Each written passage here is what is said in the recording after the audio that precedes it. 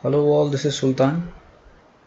This is one more video about Zoom and I'm going to show you how to disable private chat in your Zoom session.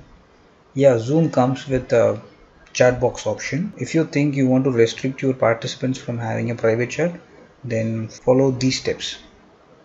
So go to your account and then go to settings. In settings you will find an option to disable private chat. Yeah here.